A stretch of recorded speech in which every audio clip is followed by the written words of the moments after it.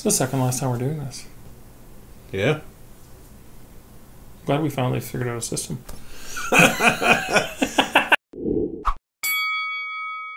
Hi, everybody. I'm Jim. I'm Ryan. And this is the Concept Crucible podcast. And it's the challenge finale episode for this year. Yep. So this year's challenge was one cover song a month on the last Friday of every month. We have mostly hit the last Friday of every month, mm-hmm. um, but we have done up till now 11 cover songs. Our last one will be coming at the end of December. And I'm pretty optimistic about it. I've been uh, doing some practicing, listening to the song, and um, I think I think it's going to sound really good. Like I'm excited because I haven't been doing either of those things. so that tells me that I should. Uh, so the songs that we recorded so far, um, we January was Wagon Wheel Mhm. uh, by Old Crow Medicine Show. Mhm. We did Everlong by the Foo Fighters. for February, yeah, Yeah, uh, Last Friday Night by Katy Perry. yep, Uh, oh, Gone Away by Offspring. Old Apartment, Barenaked Ladies. yeah.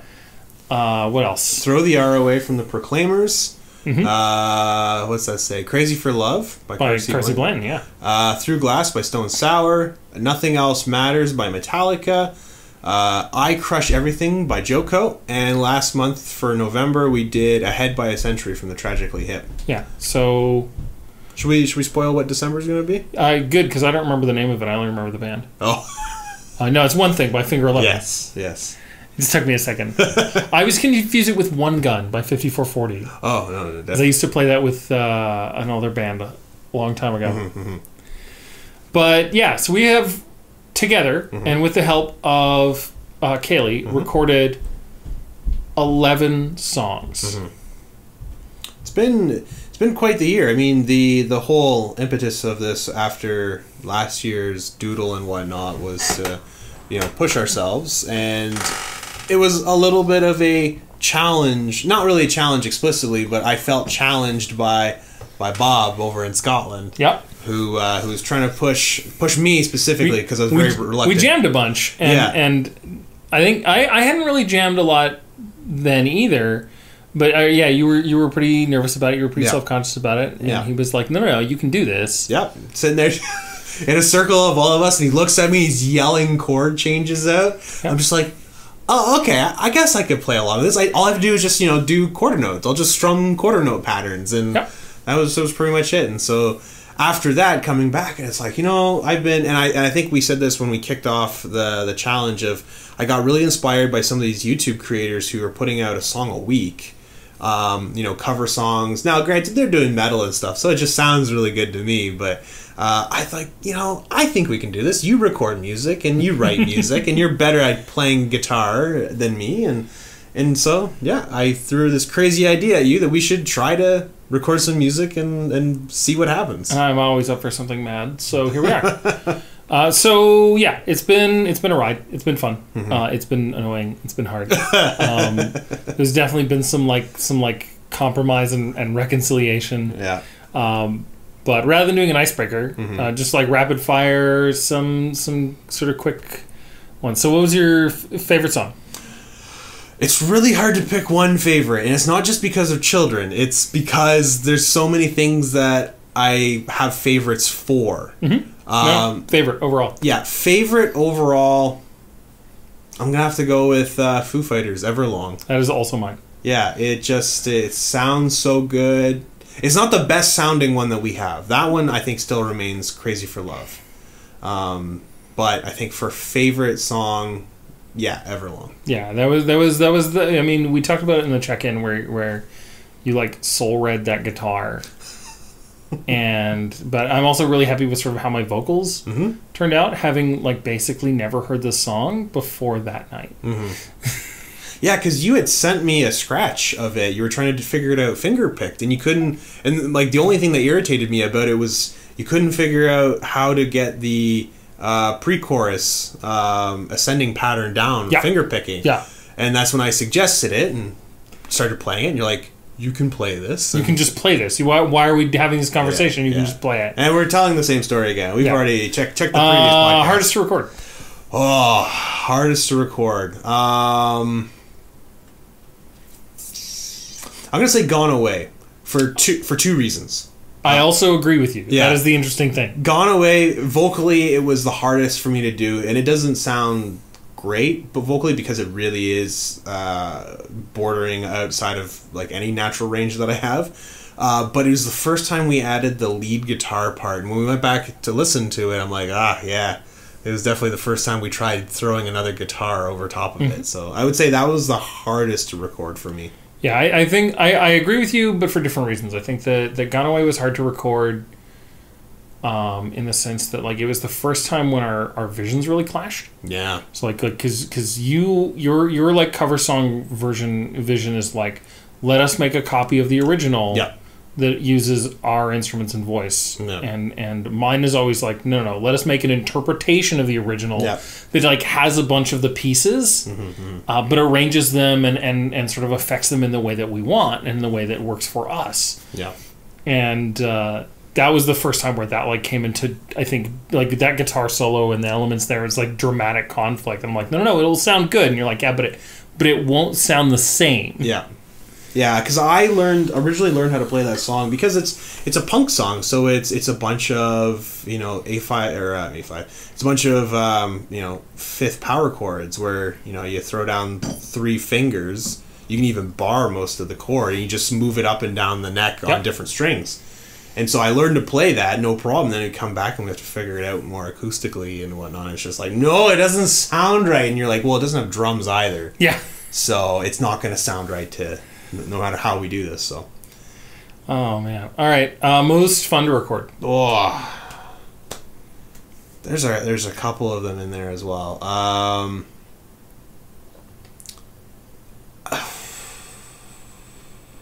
last Friday night, I I think just because of how fun it is and it was just like the the figuring out the bass guitar and getting the wow in there it, it was just so much fun to record Yeah. I mean that that is mine. Mine is probably "Crazy for Love." mm-hmm. Uh, it was our second three-person song because you were on the bass and I was on the the rhythm guitar, and it was really interesting to sort of fall into sync. Mm-hmm. Where it's a jazz song, you just you just make it up as you go Mhm.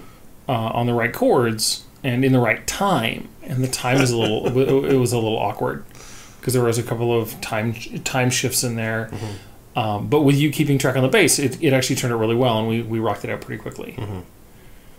Um, last Friday night was a good time. Nothing Else Matters was super rad. If you caught the Nothing Else Matters podcast, we'll link it in the show notes.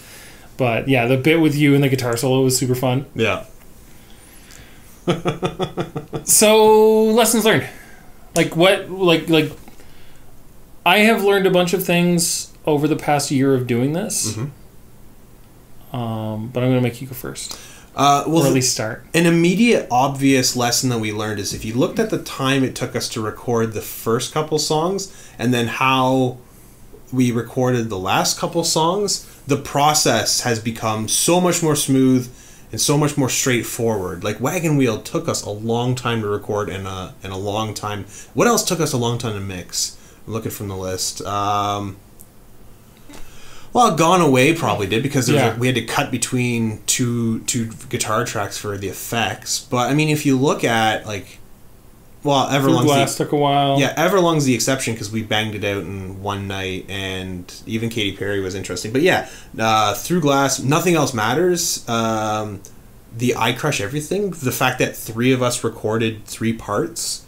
Uh, and we did it in, in, in an evening without any additional editing or um, Mhm. mixing afterwards. And even ahead by a century, that was the first time where we came back for a second session to, to record. Yeah, to add some new fill guitar. Yeah, because uh, we we listened to the mix down and it's like you know what that opening guitar is really weak. I, you know, at first I was going to re-record it, and then I thought instead of trying to re-record it because it's trying to record it on acoustic guitar, I said why don't we just add some fill notes in there to, to kind of fill out the the soundscape, and it worked.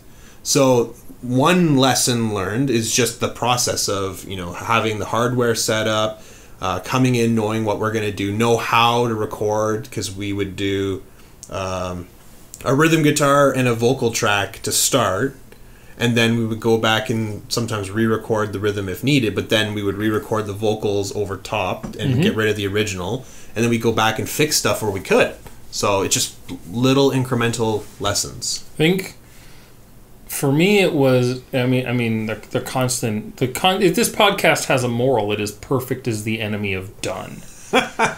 and and that's well, like well we can see it in all kinds of places. Like we showcased it in the in the nothing else matters solo but there's a bunch of those spots where it's like I can hear mistakes. Mm-hmm. But they're there and I know that they're there because I made them. Mm-hmm. But when you have played the same thing like 10 times in a night mm-hmm. There's a, and, and you only have one night to do it mm-hmm. you there's a point where you have to be like okay this is the best we're gonna get. Mm-hmm.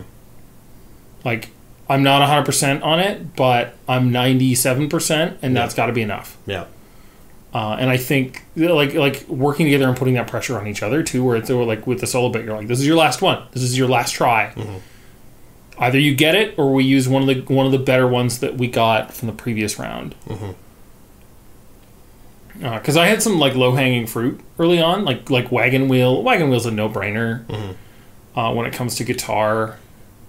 Uh, Old apartment was pretty fun. Yeah, It's always a good time. Wagon Wheel, I think, is one of the ones that I, I dislike my vocals the most.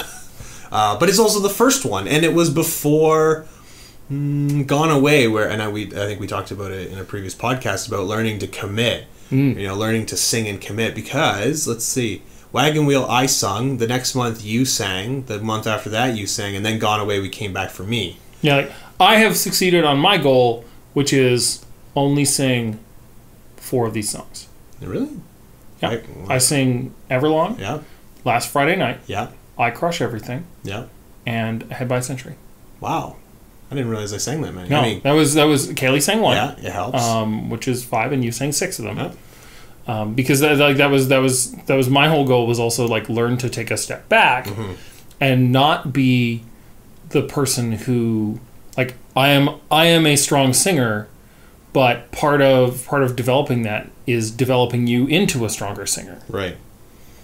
and that means that means creating space. Mm-hmm. And not always having it just be well. Jim does the vocal bit.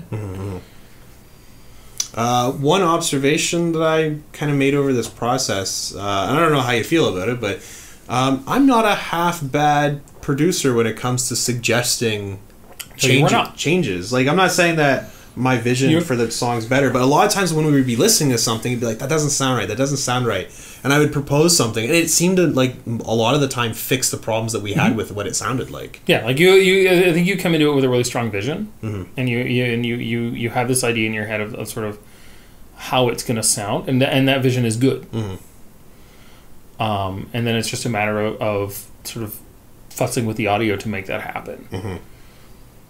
Uh, mine, mine was definitely like, like letting letting mistakes slide. um, or or usually it is declaring the end of the night because I'm tired and Yeah. I have to go to bed. Yeah. And it's you know two hours past my bedtime and we're still mixing a track. Yeah. No, there. Yeah, there was definitely again going back to the perfect as the enemy have done.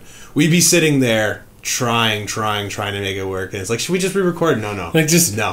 mixing like seven seconds of audio. yeah, yeah. Cut. You know this guitar track from here, move it to here, put this there. Um, yeah. But no, there's a there's a there's a bunch of sort of interesting.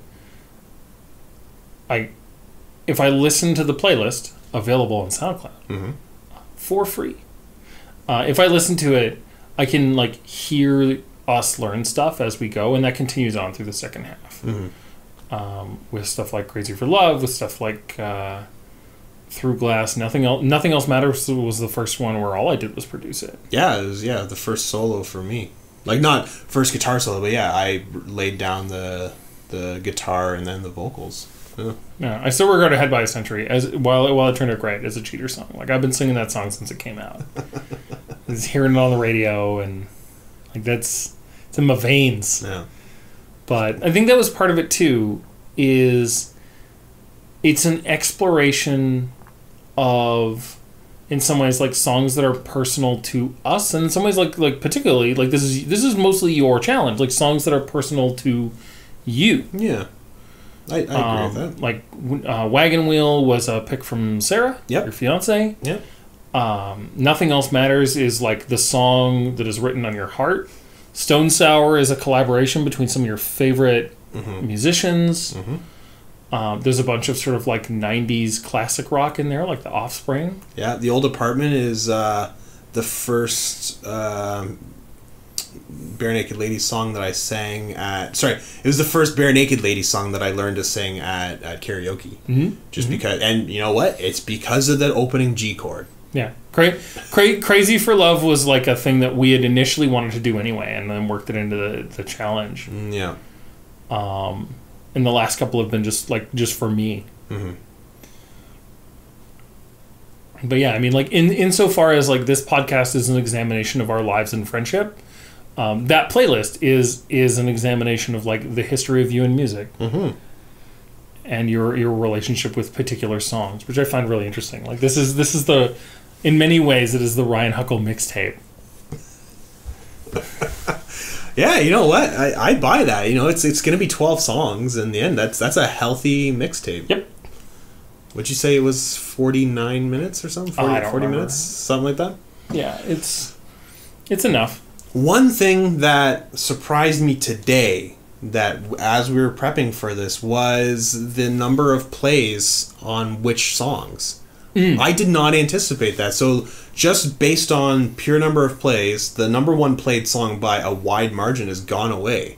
So so and I will follow that up with we have done essentially no promotion on any of these. Like I No. I Twitter about them Yeah. and I Facebook them. And they and the newer ones uh, now that we have the Patreon, they go up on the Patreon. Um, but uh, but they go up as as, as open posts because they're available for free. So, yeah, I It's probably the tags. I mean it's got to be the tags, but it's really interesting that that like nothing else matters is probably one of the lowest. And it makes sense, I suppose, because there's so many probably so many covers of nothing else matters. Yeah. Um, but some of the stuff that we covered is probably stuff that no, and not a lot of people cover. And Gone Away, like there's a lot of stuff in there that I listened to that I did, you know, with the guitar fill and the singing and stuff. Where I'm kind of like, oh, like it, to to compare that with the pure number of plays was was kind of surprising. Two, And- 200, 250 plays is also not a lot. I but mean, relative, like, billions of people that internet. doubles that that is more than the other two. Like so, number one was Gone Away. Number two is Last Friday Night with just like 103, 105. Mm-hmm. And the month after Gone Away was the old apartment, and that was hundred plays. So you combine in the number, th- like you combine number three, number two. It's still not enough to make the Can I- number can one I break spot. your heart for a moment? I know you listen to them at work. No, no, that's not why. Oh, that's not why. Um, the most played song on my personal SoundCloud um, that I've recorded is my Greek alphabet song. Um, it has thousands of plays, and all it is is a song that teaches you the Greek alphabet. I don't know, that doesn't break my heart. That actually, actually, is like Like, Pretty you- cool. You can never tell, and it never Yeah. makes sense. But here we are. Yeah, so those those are that was something that surprised me. That level of the analytics. Um, I think I commented on the in the pre-show that I find the back half of this i to be.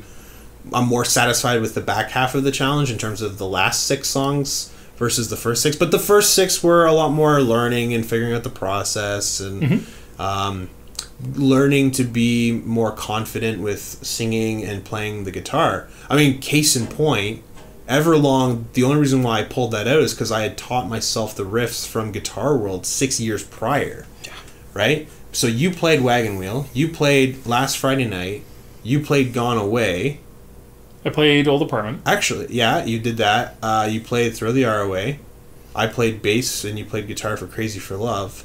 Through Glass, you played guitar. So Nothing Else Matters was the first one where I took the reins on the on the guitar That's true. Yeah. and then I Crush Everything. I, I learned that. So it took uh, like February, notwithstanding, it took until September for me to to, to run with the, the guitar part. Uh, with the the full guitar part again, like Gone Away, I had the um, the guitar fills in there. So yeah, it was all about building courage and building comfort within yourself, and I think it shows in in song seven through and twelve. I'm I'm very optimistic and, and confident that song twelve is gonna be is gonna sound alright. I'm excited. Yeah. So now that you have this courage, Mm-hmm. now that you you have this experience, now that you've um, embraced your musical self, Mm-hmm. what is your bold? What is our your bold future here? To never play guitar again. Unacceptable. Um, there, I thought about this because um, there was the joke at one point that we go back and re-record all the songs as slow jams.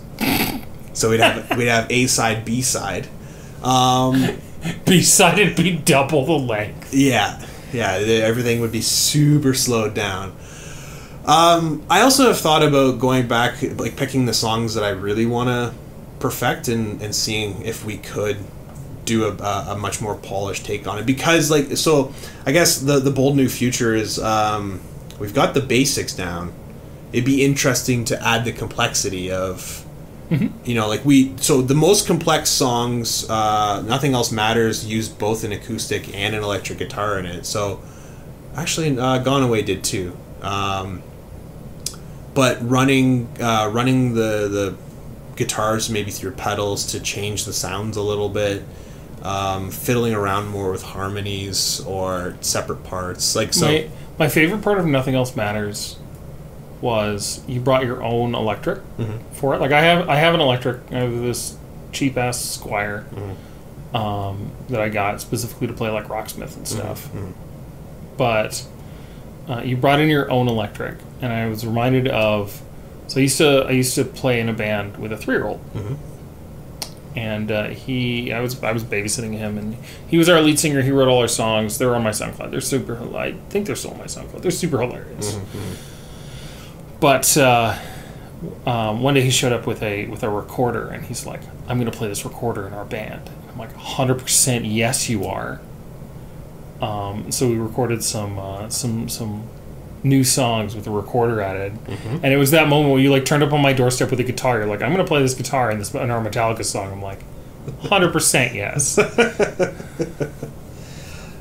yeah But- um, what oh the the other thing is um, unlike the doodle challenge the, when when doodle challenge finished i was kind of happy to, to close the book on it. Now don't get me wrong i want to i have like this weird bug that i want to start trying to learn how to paint.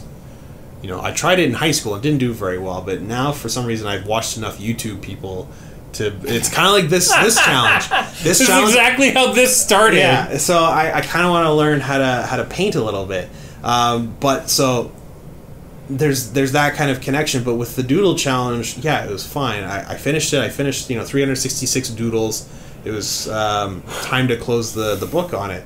This challenge, I'm not saying we need to continue it, but it wouldn't it wouldn't be the most terrible thing in the world Maybe to continue. maybe we'll it. see you in a Woot Suit Riot stage show sometime. Maybe that that would be a bold new future. Is is playing it live. You know, That- you got to commit. I, gotta- I will so so I will 100% warn you right now, Mm-hmm. and I think I've warned you this before. But if you are, and th- th- and I have done this to other people, like I anybody in the, like like this is a warning that I give to anybody that I've ever played with, is if I catch you in the audience of a show that I'm doing, your ass is getting on stage and you're you're singing with me. We we we've got Andrew Butters singing at Headshots.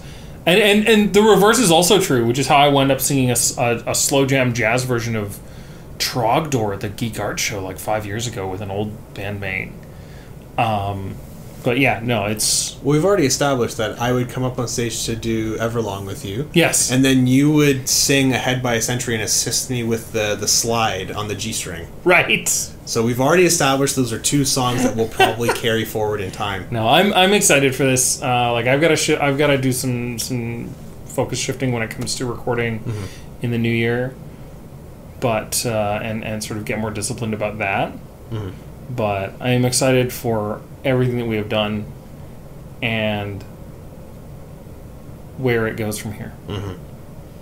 And I think the final bold new future is to go back to Scotland and make old Bob proud. Conquer, conquer Scotland musically. With our axes!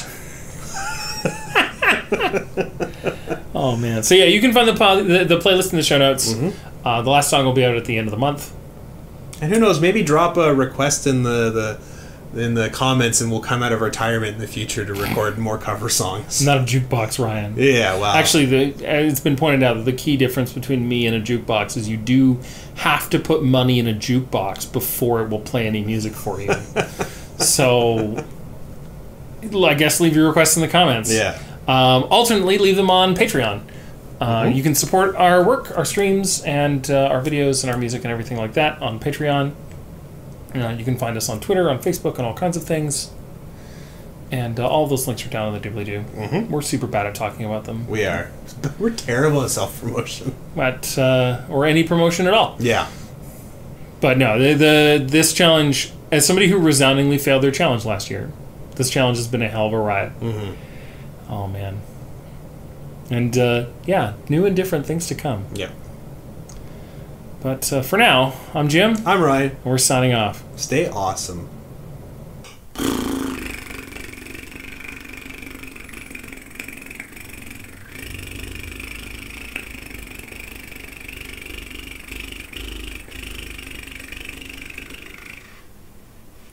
Ran out of steam. You're a weirdo.